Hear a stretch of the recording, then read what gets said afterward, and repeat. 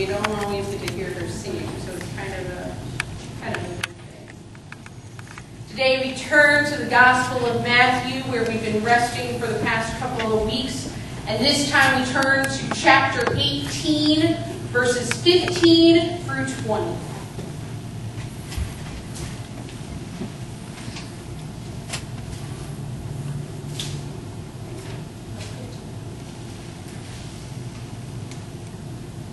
If your brother sins against you, go and tell him his faults, between you and him alone. If he listens to you, you have gained your brother, but if he does not listen, take one or two others along with you, that every word may be confirmed by the evidence of two or three witnesses. If he refuses to listen to them, tell it to the church, and if he refuses to listen even to the church, let him be to you as a Gentile and a tax collector. Truly I say to you, whatever you bind on earth will be bound in heaven, and whatever you loose on earth shall be loosed in heaven. Again, I say to you, if two of you agree on earth about anything they ask, it will be done for them by my Father in heaven. For where two or three are gathered in my name, there am I in the midst of them. So today, we get to talk about a fun topic in the church. Conflict. Who's excited? But today we get to hear the Word of God in relationship to conflict. You see, it seems crazy because we're a church, right? And conflict and church do not go together. That to even consider such a thing is blasphemous, right? We know that's wrong. I know, I know. We're human. Humans have conflict. End of story. No more needs to be said, right? Too bad you get another 15 minutes. So, how do we approach conflict biblically? And how do we approach it as both individuals and as a body of believers? You see, conflict in the church is inevitable. But how we handle it, deal with it, name it, own it, and most importantly, how we grow from it helps us utilize conflict for the glory of God. That in itself is a little bit of a strange way of looking at it, right? Using conflict to glorify God. Now we're really talking heresy. Conflict, though, has a negative connotation. While we may or may not dismiss words and their similar meanings to one another, we cannot discount that two words may mean very similar things, but can give a very different connotative feel to the circumstances for which they are used. We have to understand the language we use in the church and in and throughout our lives. To not understand that language we use and to fail to use it properly often helps to create, foster, and even build into the conflicts that are already inherent within the body. So, what is conflict? The definition we would be using is in the noun form and it means discord of action, feeling, or effect, antagonism or opposition as of interest or principles. And that is a direct quote from Webster's Dictionary.com thing. They don't even print out dictionaries anymore. I don't know. Essentially, what this means in light of the church is that we have opposing viewpoints on how or what or when to do whatever in the life of the church. We all agree? Does that definition sound right? But often, what we do, instead of this milder definition, we tend to take the other definition of conflict, as in battle, and we draw our little lines in the sand and gather our forces of righteous Christian friends to fight it out, and of course, the most faithful will win. We too often, though, see the fallout of this battleground mentality in the life of our churches. You see, conflict in the church is not supposed to be about winning or losing. But instead, it is about growing and seeing one another's differing views in light of God. Too often, though, conflict can create a level of discord and, more importantly, a level of hurt that people as individuals and the church as a body cannot always overcome.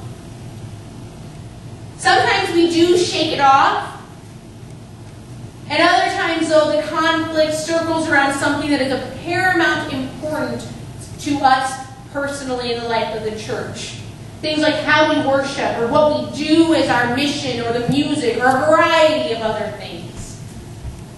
The lines get drawn, and inevitably, what it, the end result is that someone leaves, or the discord continues, and the conflict never gets resolved. Instead, it's pushed to the side, or the group in quote unquote power does it their way, with the ever-present mumblings of those who did not get what they wanted still lurking in the corners of the sanctuary and the parking lot after the service is ended. We all know. I'm not preaching to the choir because they're down here. A couple of weeks ago, though, we had the annual ministry training workshop. You know, the thing that I started that's in August that half of you were not there for. This year's workshop centered on worship and what we could cover in a short time span on all that goes into a church worship service. I think it surprised some people. But an activity that we did centered on the most important elements in our worship service. One of the most revealing things that I believe came to light from this and surprised those who participated was that the only piece of music that was deemed important as a must-have was the offering in music. Everything else is not given the same level of importance as the other elements like communion, the scripture, or even the sermon. This is revealing and surprising in some ways, considering that most of us are familiar with church life, are well aware that the devil enters the sanctuary through the choir loft. We've heard that one, right? We've heard it. We and most of us have experienced it a time or two. The blunt truth is that most church conflicts deals with music, the type, what is sung, the way it is sung, who sings it, when, etc. And I want to be clear on one thing. I'm not pointing fingers or drawing lines in the sand. I just know how important it is for us as a church and as understand and appreciate one another before, in the middle of, and after periods of conflict. And use them as methods and modes of spiritual growth as individuals and both as the body.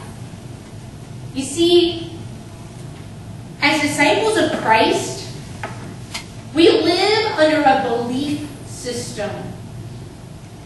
We continually say in essentials unity, in non-essentials charity, and in everything love.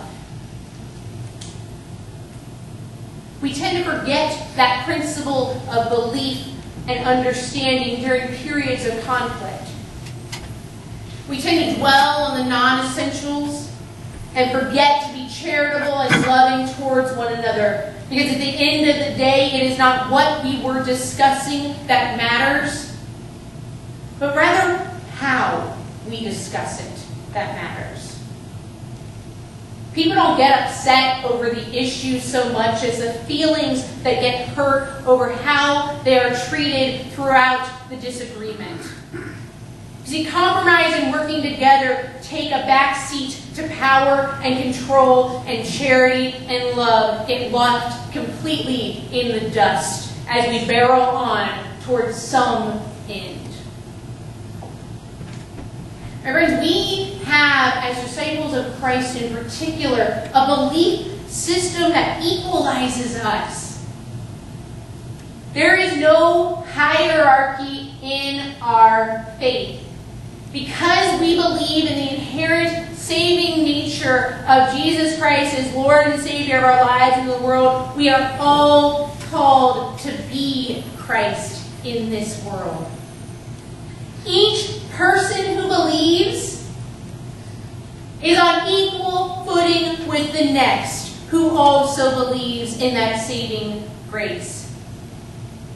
You see, how we practice that belief or live it out does differ. But let be honest in admitting that in our striving to live a life like Jesus, we sometimes instead find ourselves more like the Pharisees in our holier than thou attitude over the humility of Christ. We are human, after all. But to here, in the Gospel of Matthew, we are given a guideline of sorts to see one another with eyes of grace as we come to points of disagreement and conflict, whatever and whenever those points may be. Let's take a moment to look at these guidelines. See, this chapter in Matthew is the go-to guide for conflict resolution. It shows us the biblical way of handling and dealing with conflict. And the first thing to note is that this is an aggressive tactic. It does not ask you to sit passively.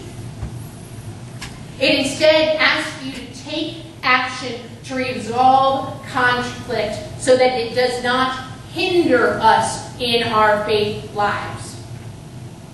We know that to be true, right? Conflict and disagreement and discord hinder us as people, as spiritual people.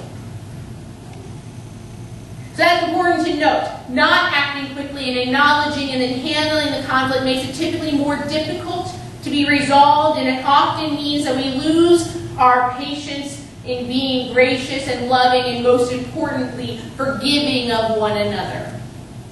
So the conflict typically snowballs from a simple thing between two individuals into a me versus them versus us versus everyone problem, creating a chasm that can take years or is sometimes never truly resolved. So by taking a look at the scripture, it starts by saying if one sins against you, go to them directly and talk to them about it directly. I think that's the most important step. You see, our first inclination if somebody tees us off is instead of talking to them about it, who do we go to? We talk to our spouse about it. We talk to our friends about it. Anyone but them, right? Our first inclination is to talk about it with others. Instead of just saying to a person you may you know, you may not have realized it, but you kind of just hurt my feelings, or I disagree with you on whatever. If we went to one another first, how fewer battle lines would be drawn? The second step, my friends, is to take a couple others along with you. This is where it gets tricky. Because those others are not there to back you up in what you say or believe. They are not there to defend your point. But rather, their purpose is to act as mediators. Jesus says that these individuals essentially confirm what has been said between the two parties and give evidence to both sides of the discussion. We tell our youth to get a trusted adult like a youth director because for and for adults it can be the elders of the church or the minister. The important thing is that they are not directly involved and are and all who are aware in the discussion are aware of the biases that are inherent within that discussion. Like I said, it's tricky. It is incredibly difficult as humans to not take sides. But the third step, if that doesn't resolve it, is to bring it in front of the group, the church, or the group affected by the conflict. This is invariably a difficult step and also a humbling step. We also very rarely get to this point within our church because it is easier to walk away, right? But the hurt remains, my friends. The people affected remain, and sometimes the instigators leaving and not taking ownership solves absolutely nothing. And that is where the fourth and final step comes into play. Jesus tells us to let them be to us as a Gentile and a. In a quick interpretation, this is kind of a fun way of saying, I dismiss what you've said and I'm going to shame you for being that way. Because, of course, to those of this time, the Gentiles and the tax collectors were reviled by the Jewish culture. And yet, throughout the Gospels, these were the very people that Jesus went to and loved. In spite of their status, he saw beyond the stigma and loved them anyway. That's how we resolve conflict. We love them anyway. It doesn't negate the need for addressing it, but it does ask us to consciously see one another with eyes of grace and love one another anyway. No matter what has been done against us as individuals or as the body. It's not perfect. And I'm sure as I'm saying, most of you are going, yeah, that doesn't work. Right? But it's a way for us to see conflict as a way of glorifying God. Conflict's not the best word, but there's not. Is there another? But when we love one another anyway, when we go to one another, when we address it, we name it, we own it, when we accept that it is part of our spiritual growth and identification as disciples of Christ, then we get to come together. And we get to glorify God together by agreeing to dis- disagree. And by honoring one another's differing views. And coming together in worship and in praise of our God in spite of and perhaps because of our unique differences. Remember, the end of this scripture tells us the simple truth that where two or more are gathered in Jesus' name, He is here. Amen.